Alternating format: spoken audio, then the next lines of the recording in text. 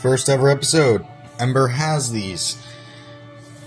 This is my box of bulbs. There are six bulbs in here, five functional, one not functional. No filament. Sag. Most of these are for blinkers. I think some of these were discarded because they don't look like they have filaments, but if you actually look, they do have the filaments still.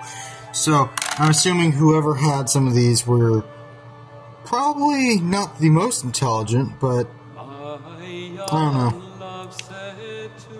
This one's for a lamp that I don't know. I don't know where the fuck I got it. It was just in a box randomly under my bed. Box of bulbs.